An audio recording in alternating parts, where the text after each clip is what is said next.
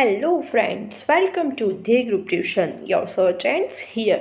Today we are going to take simple present tense એટલે કે સાદો વર્તમાન કાળ તો આઈ હોપ કે આગળ ચાલેલા વિડીયોમાં જે બેઝિક ગ્રામર અને ઇન્ટ્રોડક્શન ઓફ ધ ટેન્સીસ હતું તે તમે પાક્કું કરી ચૂક્યા હશો સો લેટ અસ બિગિન નમસ્કાર મિત્રો. તો આજે આપણે સૌ પ્રથમ લેવા જઈ રહ્યા છીએ સિમ્પલ પ્રેઝન્ટ ટેન્સ, એટલે કે સાદો વર્તમાન કાળ. તો સાદા વર્તમાન કાળમાં કયા કયા પ્રકારની ક્રિયાઓનો સમાવેશ થાય છે એ આપણે જોઈ લઈશું. તો સાદા વર્તમાન કાળમાં રોજબરોજ થતી ક્રિયાઓ, ટેવો, સનાતન સત્ય કે કહેવતો વગેરે પ્રકારની ક્રિયાઓનો સમાવેશ થાય છે. તો અહીંયા દરેક વાક્ય રચનાની કી ગોઠવીને આપી દીધેલી છે. તો એ કઈ કઈ વાક્ય રચનાઓ હશે મિત્રો? તો સૌપ્રથમ છે પોઝિટિવ અથવા તો એફર્મેટિવ એટલે કે હકાર વાક્ય રચના નેગેટિવ એટલે કે નકાર વાક્ય રચના ઇન્ટરોગેટિવ એટલે કે પ્રશ્નાર્થ વાક્ય રચના. અને ડબલ્યુએચ ઇન્ટરોગેટિવ એટલે કે ડબલ્યુએચ પ્રકારની વાક્ય, પ્રશ્નાર્થ વાક્ય રચના. તો સૌપ્રથમ આપણે પોઝિટિવ એટલે કે હકાર વાક્ય રચનાની ચાવી જોઈશું. તો જેમ મેં તમને આગળ એવા વર્ડ્સ આપી દીધા હતા, જેનું મેં અહીંયા શોર્ટ ફોર્મ યુઝ કરેલું છે. તો એમાં સૌપ્રથમ છે સબ્જેક્ટ એટલે કે S plus V one plus object plus other words તો અહીંયા વી એટલે કે કોઈ પણ ક્રિયાપદનું મૂળ રૂપ અથવા તો એસ કે ઈએસ તો મૂળ રૂપ અથવા તો એસ કે ઈએસ શું? તો ફોર એક્ઝામ્પલ આપણે અહીંયા લઈએ કે પ્લે તો પ્લેની પાછળ આપણે પ્લેઝ લગાવીએ કે પ્લેઇંગ હોય કે પ્લેડ હોય. તો એકલું જે પ્લે કહીએ છીએ એને ક્રિયાપદનું મૂળરૂપ કહેવાય, જેને આપણે અહીં વી કહીશું.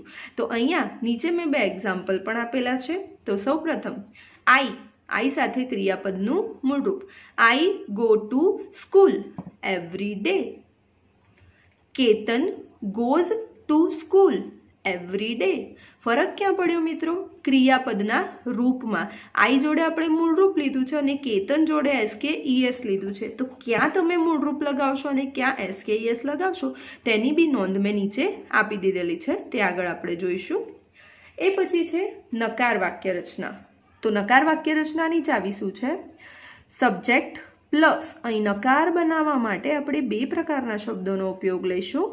ડુ નોટ અથવા તો ડઝ નોટ અને જ્યારે તમે ડુ નોટ અથવા તો ડઝ નોટ લો છો, ત્યારે કમ્પલસરી વી વન એની સાથે લખવામાં આવે છે.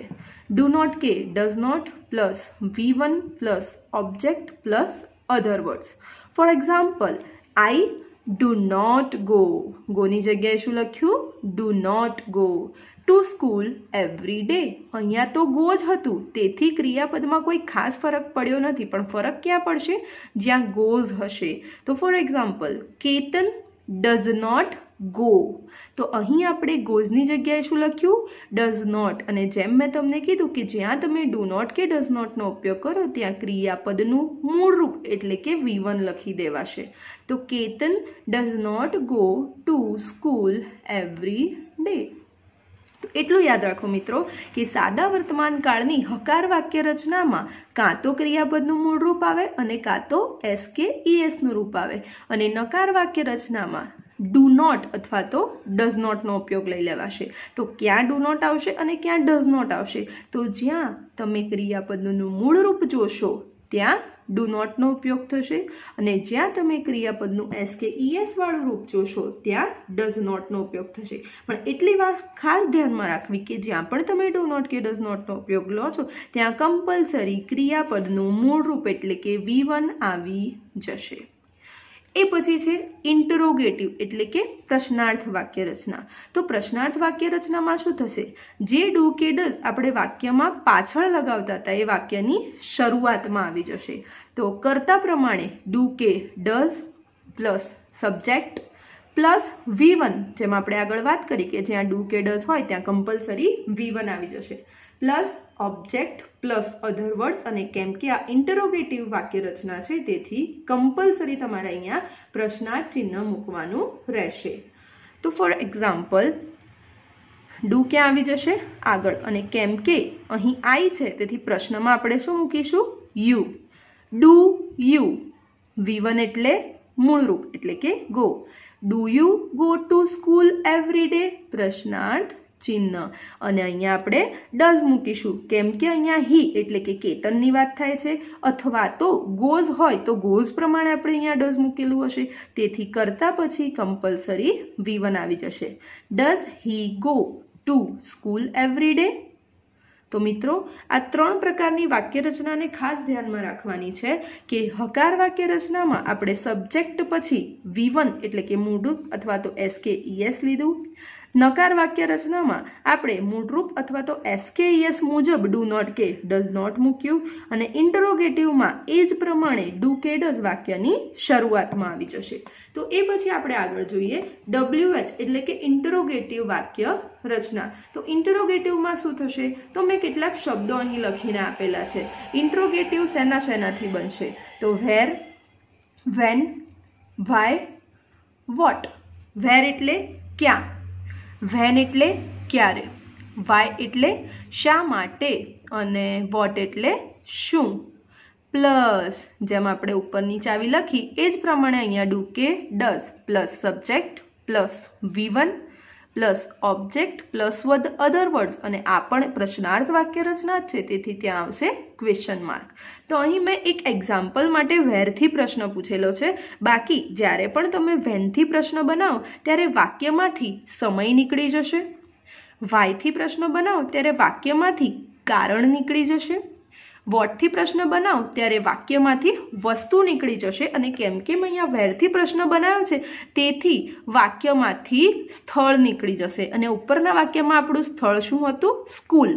તો સ્કૂલ અહીંયાથી નીકળી જશે. તો વાક્ય રચના પ્રમાણે વેર વત્તા ડુ કે તો યુ પ્રમાણે આપણે અહીંયા મૂકીશું do. Where do you. V one. V one એટલે કે go. Every day question mark where do you go every day તો જ્યારે એના જવાબમાં આપણને મળે કે સ્કૂલે તો સ્કૂલ જ્યારે સાચો જવાબ મળે, તો તમારી આ વાક્ય રચના બિલકુલ સાચી. એ જ રીતે નીચે પણ મેં પ્રશ્ન પૂછેલો છે વેર ડઝ પ્રશ્ન એ જ પ્રમાણે બન્યો છે, પણ કરતા પ્રમાણે અહીંયા ડઝ મૂકવામાં આવ્યું છે. તો where does he go every day પ્રશ્નાર્થ ચિહ્ન. આનો પણ જવાબ મળશે સ્કૂલ. તો તમારી આ વાક્ય રચના બિલકુલ સાચી છે. જેમ મેં ઉપર તમને જણાવ્યું હતું કે ડુ નોટ અને ડઝ નોટનું બાયફર્કેશન આપણે કઈ રીતે કરીશું તેની નોંધ મેં નીચે લખેલી છે. તો જ્યારે વાક્યમાં આઈ વી યુ ધે અથવા તો પ્લુરલ એટલે કે કોઈ પણ બહુવચન કરતા હોય, ત્યારે તેની સાથે આપણે ડુ નોટનો ઉપયોગ કરીશું અને પ્રશ્નમાં ડુનો હી શી ઇટ અને સિંગ્યુલર કરતા હોય ત્યારે નકાર વાક્ય રચનામાં ડઝ નોટનો ઉપયોગ કરીશું અને પ્રશ્નાર્થમાં ડસ તો આ રીતે આપણે ખૂબ ક્લિયર રીતે યાદ રાખવાનું છે. આઈ વી યુ ધે અને પ્લુરલ સાથે ડુ નોટ અને પ્રશ્નાર્થમાં ડુ હી શી ઇટ અને સિંગ્યુલરમાં ડઝ નોટ અને પ્રશ્નાર્થમાં ડસ તો કોઈ પણ વાક્ય આપણે વાંચીએ ત્યારે આપણને એ તો ખબર પડવી જોઈએ મિત્રો કે આપણે કઈ રીતે એ કાળને ઓળખવાનો છે? તો જ્યારે વાક્યમાં, તો મેં અહીંયા કેટલાક કીવર્ડ્સ તમને લખીને આપેલા છે. તે કયા કયા કીવર્ડ્સ છે જે આપણને જણાવશે કે આ વાક્ય સાદા વર્તમાન કાળનું છે? તો એ છે everyday daily generally regularly always never sometimes often અને ઇફવાળું વાક્ય. ઇફવાળું વાક્ય હોય છે, એ પછી અલ્પવિરામ હોય છે અને એ પછી આખું વાક્ય ભવિષ્યકાળમાં હોય છે. પણ જ્યારે ઇફનું જે પ્રથમ વાક્ય બનાવવામાં આવે છે, ત્યારે હંમેશા તે સાદા વર્તમાન કાળમાં હોય છે. તો એકવાર ફરીથી આપણે કીવર્ડ્સને રિપીટ કરી દઈશું. Everyday daily generally regularly always never sometimes often અને ઇફ વાળું વાક્ય. તો અહીં આપણે સાદો વર્તમાન કાળ જોયો. એકવાર ફરી હું ચારે ચાર ચાવીને રિપીટ કરી દઈશ મિત્રો. તો સૌથી પહેલાં છે પોઝિટિવ એટલે કે એફર્મેટિવ હકાર વાક્ય રચના. Subject plus V one plus object plus other words યાદ રાખવાનું છે. સાદા વર્તમાન કાળમાં હકાર વાક્યમાં વી વન એટલે કે મૂળરૂપ અથવા તો એસકેએસનો ઉપયોગ કરવામાં આવ્યો છે.